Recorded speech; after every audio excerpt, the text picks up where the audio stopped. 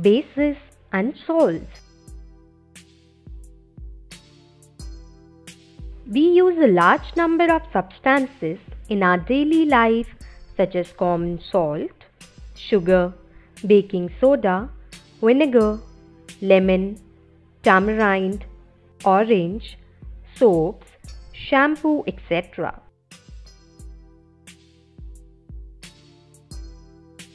Some of these substances have the similar properties and some have different. Let us study the properties of these substances. Do all these substances taste similar? Let us taste some substances to see. Taste the edible substances found in your mom's kitchen like lemon, orange, common salt, baking soda, tomato and vinegar etc.